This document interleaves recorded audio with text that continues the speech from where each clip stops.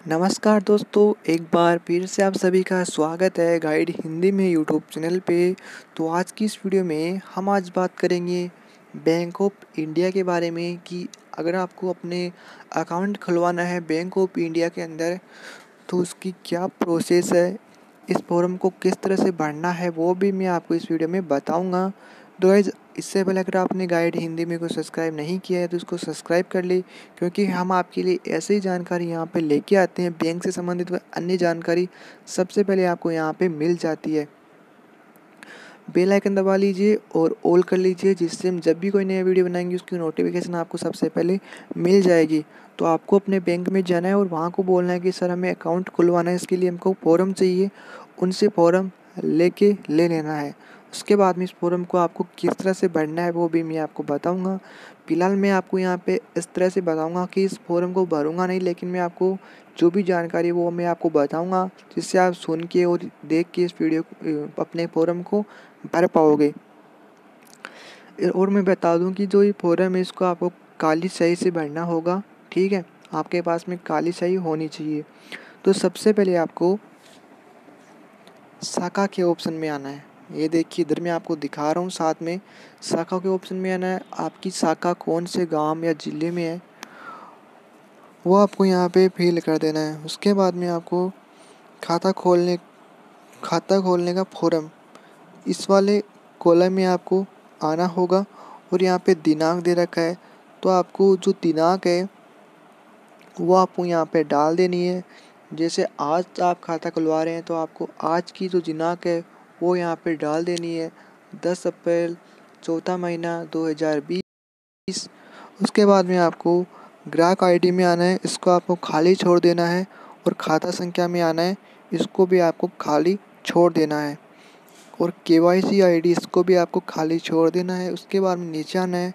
तो यहाँ पे लिख रखा है, मैं आपके बैंक शाखा में मेरा जमा खाता खोलना चाहता हूँ। कृपया संबंधित खाते पर निशान लगाए, जिसके लिए मैं हम प्रारंभिक रूप से रुपए। तो आपको यहाँ पे जो भी पैसे जमा कराना चाहते हैं इस बैंक में, वो यहाँ पे पैसे डाल दीजिए। सबसे पहले आपको पैसे डालने हैं जैसे सौ रुपये तो सबसे पहले आपको यहाँ पे ये देखिए यहाँ पे आपको सौ रुपये लिख देना है, सौ रुपये। उसके बाद में हिंदी में लिखने हैं आपको एक सौ रुपये। और फिर आपको नीचे आना है। और यहाँ पे देखिए, बैंक बचत लिखा हुआ है और चालू और मर्यादी और अन्य। अब आपको यहाँ पे क्या करना है, सबसे पहले नीचे आपको देख रहा है प्रथम नाम। इसमें आपका जो नाम है वो यहाँ पे भर देना है, पहला नाम। उसके बाद में आपका मध्य नाम हो जैसे कुमार है तो कुमार भर देना अगर आपकी जाति है, वो आपकी जाति यहाँ पे डाल देना इसको हम सरनेम बोलते हैं। अब इसको आपको भरना क्या पे, ये नीचे आपको कॉलम दिख रहे हैं। इसमें आपको है, जैसे नाम अशोक, मैंने यहाँ पे डाल दिया। और आपका अक्षर बड़े अक्षरों में होना चाहिए। मैं आपको हर वीडियो में बताता हूँ, जैसे अशोक है तो आपको ए लिखना है, ए, एस एच बड़े अक्षरों में लिखना है यहाँ पे ये डाल देना, उसके बाद में आपको मध्य नाम में आना है। तो यहाँ पे मध्य नाम आपका जो भी कुमार है, जो भी है, वो डाल देना है। उपनाम आपका है तो वो डाल दीजिए, नहीं तो कोई बात नहीं है। और यहाँ पे जो रखा है लिंक तो इसमें आपको क्या है कि आप मेल है, फीमेल है, वो आपको यहाँ पे डाल देना है। तो मेल है तो एम ए एल लिख देना है, ठीक है। उसके बाद में नीचे आना है, यहाँ पे लिख रखा है विवाह पूर्व नाम। महिला के लिए आवेदन। महिला के बारे में आपको जानकारी यहाँ पे डालनी होगी। विवाह से पूर्व का जो भी नाम है, वो यहाँ पे डाल देना है। उसके बाद में आपको नीचे आना यहाँ पे आता है ऑप्शन जन्म दिनांक का पेन और यहाँ पे ग्राहक आईडी तो यहाँ पे आपको अपना जन्म दिनांक है, जैसे मेरा है तो मैं यहाँ पे डाल रहा हूँ ज़ीरो तीन, ज़ीरो पाँच, उन्नीस सौ अट्ठानवे ठीक है?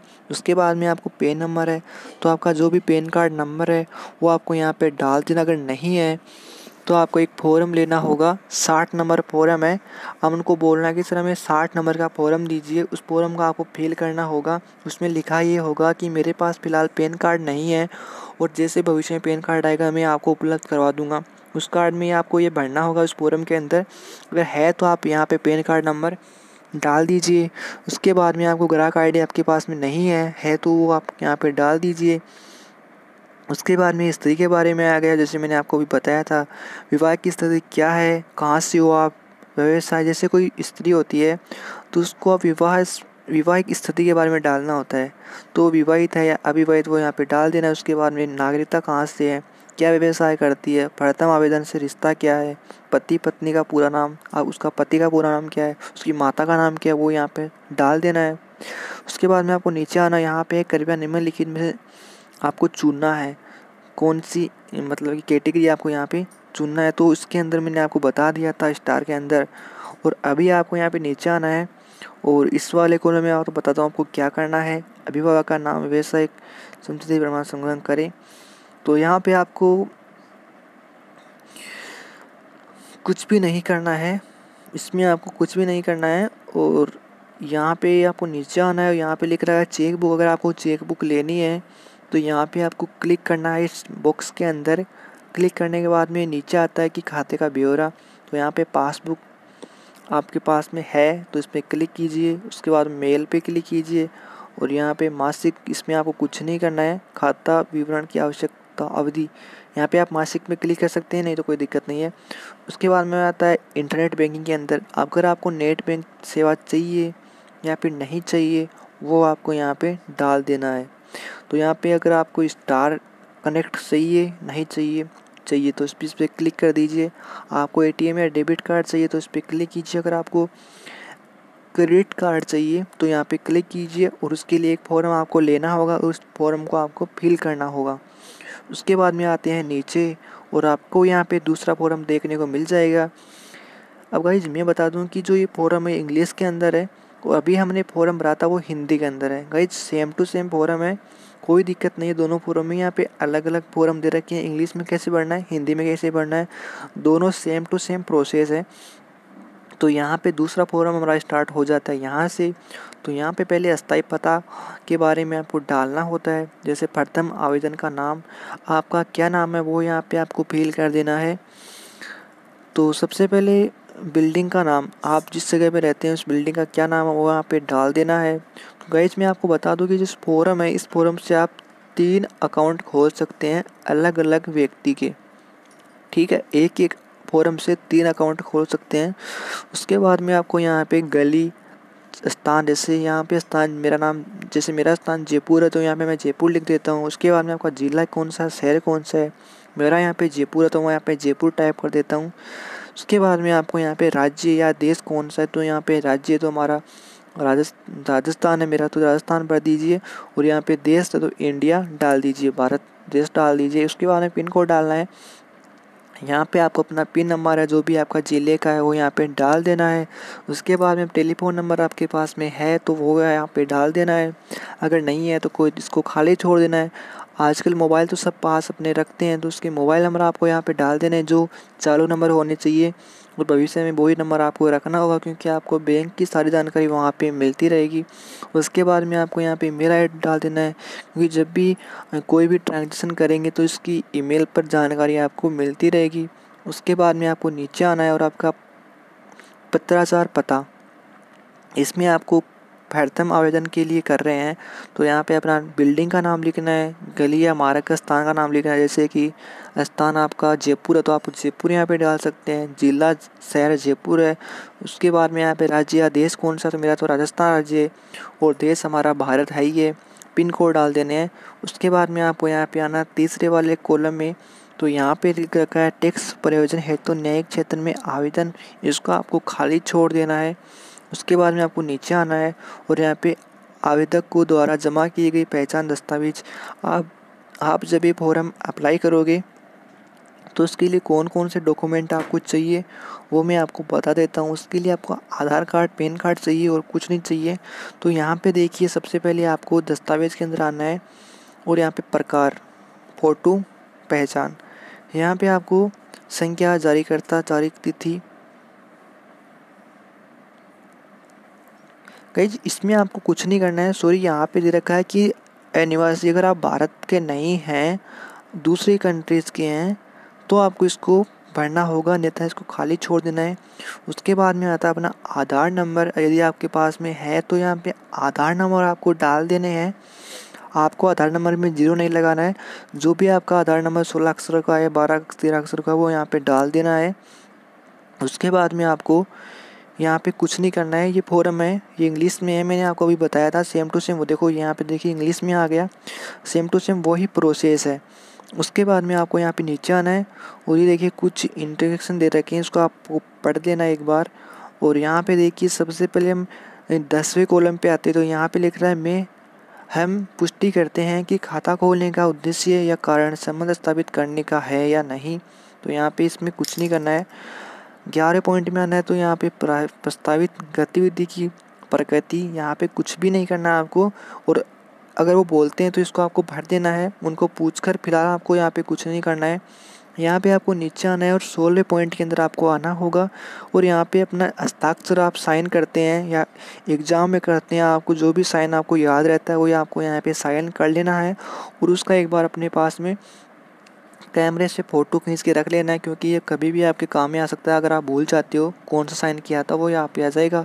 और ये नीचे आ गया फॉरम इंग्लिश के अंदर, सेम टू सेम प्रोसेस है। उसके बाद में आपको नीचे आना है और यहाँ पे देखिए, घोषणा, कृपया उपयुक्त बॉक्स में निशान लगाइए। तो यहाँ पे है कि मैं घोषणा करता हूँ तो इसमें क्लिक कर दो। इस बॉक्स में नीचे इसमें आप क्लिक कर देना है। उसके बाद में आपको मैं चालू खाता खोलने के लिए उद्धारदाता बैंक का नाम संकलन करता हूँ। यहाँ पे आपका जो नाम है, हम आपके बैंक शाखा में खाता खोलने के लिए तो यहाँ पे आपको जो नाम है, वो यहाँ पे डाल देना है। उद्धारदाता बैंक, जो भी बैंक का नाम है, वो यहाँ पे डाल देना है कि जैसे बैंक ऑफ़ इंडिया से संकलन करता हूँ। ठीक है, यहाँ पे बैंक ऑफ़ इंडिया लिखना है। उसके बाद में यहाँ पे बैंक का नाम लिखना है। बैंक एवं शाखा का नाम।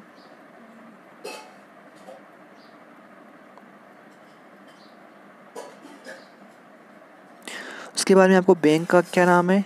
वो बैंक का नाम शाखा कहाँ पे है? उसके बाद में पिन कोड, आपके जो पिन कोड होते हैं गाँव के या शहर के, वो यहाँ पे डालना है। खाते की प्रकार की सुविधा, यहाँ पे लिखना है सेविंग अकाउंट। हिंदी में लिखते हैं बचत खाता। उसके बाद में सीमा, कितना, कितनी सीमा तक आप ट्रांजेक्शन करेंगे वो यहाँ पे डाल, दस हज़ार, एक लाख, दो लाख वो यहाँ पे डाल देना है। उसके बाद में खाता संख्या। वो आपको अभी तक नहीं मिल रही है तो उसको खाली छोड़ देना है, ठीक है? उसके बाद नीचे आना आपको यहाँ पे और यहाँ पे डालना है वर्तमान खाता धारक परिचय। छः महीने तक संतोषजनक विकल्प तो यहाँ पे आपको, अगर आप पहले इसमें खाता रखते हैं बैंक में तो आपको इस फॉर्मेलिटी को पूरा करना है, अन्यथा कोई ज़रूरत नहीं है। उसके बाद नीचे आना है, यहाँ पे आपका नाम डालना होगा, ठीक है? उसके बाद में को विगत वर्षों में जानता हूँ, आवेदन से मेरी जानकारी। यहाँ पे गवाह के रूप में है कि वर्तमान का धारक परिचय मतलब कि कोई वर्तमान धारक है जो बैंक में यूज़ करता है तो उसका यहाँ पे डिटेल डालनी होगी। जैसे कोई आपको गवाह की ज़रूरत पड़ेगी इसमें गवाह चाहिए। जैसे आपको जानता हो कि मैं इसको जानता हूँ और ये हमारे गाँव में रहता है तो वो उनको यहाँ पे पढ़ना होगा। जैसे किसी इसी बैंक में किसी का खाता होता है उस, उसको जाना है उसको बोलना है कि भाई इस फॉर्म को भर दो इसमें आपका उनका नाम डालना है उसका पता उसके pin number mobile number fax उसकी खाता संख्या डालनी है और खाता खोलने की तिथि कब खोला था उसने खाता, उस बैंक में ग्राहक आईडी शाखा का नाम डालना है, शाखा का क्या नाम है, उसके बाद में कौन सा खाता उसने खुलवाया था इस बैंक में, और इसको डाल के उसका नाम वगैरह लिख के और विगत जो तारीख वगैरह है वो यहाँ पे डाल देना है। उसके बाद में आपको यहाँ पे नीचे आना होगा और यहाँ पे देखिएगा इस लिखा, उसका साइन भी करवा देना यहाँ पे परिचय था कि हस्ताक्षर और दिनांक। उसके बाद में व्यवसायिक गतिविधि के बारे में गाइज़ इसको आपको कुछ नहीं करना है, इसको खाली छोड़ देना है। और यहाँ पे बता दूँ कि यहाँ पे अपना हस्ताक्षर करना होगा, ठीक है? यहाँ पे हस्ताक्षर एक फ़ोटो लगवानी होगी और आपका नाम यहाँ पे लिखना होगा। उसके बाद में आपको नीचे आना है और यहाँ पे आवेदक, इसमें ले आपका नाम लिखना है, साइन करने हैं, ठीक है? उसके बाद में आप करा, कार्यालय हेतु है, इसमें आपको कुछ नहीं करना है, खाली छोड़ देना है। तो गाइज़ मैंने आज आपको बताया कि फॉर्म कैसे भरते हैं पूरा। और ये रहा वो साठ नंबर फोरम जो मैं बात कर रहा था उस फोरम की। ये है साठ नंबर फोरम। तो यहाँ पे अगर आप टैक्स चुकाते हैं, नहीं चुकाते तो नहीं पे क्लिक कीजिए। उसके बाद में कार्ड सर्किट आखिर भरा गया था। वो आपको यहाँ पे डाल देना है, पेन कार्ड नंबर ना रहने के कारण। अगर नहीं है तो इसको भर भर दीजिए कि हमारे पास पेन कार्ड नंबर नहीं है। ये रहा साथ में इकसठ नंबर फॉर्म। और यहाँ पे घोषणा आपके साइन कर देना है। और मैं अशोक इधर द्वारा ये घोषणा करता हूँ, दिनांक इतनी तारीख को सत्यापित किया गया था। उसके बाद दिनांक और आपका स्थान कहाँ पे वो यहाँ पे डाल देना है। और यहाँ पे है, ये फॉर्म ये अलग है, इसको मैं आपको नेक्स्ट वीडियो में बता दूँगा गाइज़ अगर आप मांग करेंगे तो। और इसको आपको कुछ नहीं पढ़ना है, बस हमारा काम हो गया। तो गाइज़ मैंने आज आपको बताया कि आप किस तरह से बैंक ऑफ़ इंडिया का फॉर्म भर सकते हैं, घर बैठे कैसे फील कर सकते हैं, मैंने आपको पूरा हिंदी में बताया। गाइज़ ये आपको वीडियो ज़रा सा भी आपके लिए यूजफुल है तो आप इस चैनल को सब्सक्राइब कीजिए बेल आइकन दबा के ऑल कीजिए वीडियो को लाइक कीजिए कमेंट कीजिए, आपको कोई दिक्कत आ रही है तो और इस वीडियो को अपने दोस्तों के पास में शेयर कीजिए, जिससे मैं आपको, हमें मोटिवेट मिलेगा और मैं आपके लिए वीडियो बनाता रहूँगा। और अगर आपको ऐसे ही बैंक के बारे में जानकारी या फिर ऑनलाइन पैसे कैसे कमाते हैं, वेबसाइट कैसे बनाते हैं, जानकारी चाहिए तो आप इस चैनल को सब्सक्राइब कीजिए। बस गाइज़ आज के इस वीडियो में इतना ही। मिलता हूँ अगले वाले वीडियो में। तब तक अपने घर में रहिए, सुरक्षित रहिए और अपना ख्याल रखिए। जय हिंद, जय भारत, जय वंदे मातरम।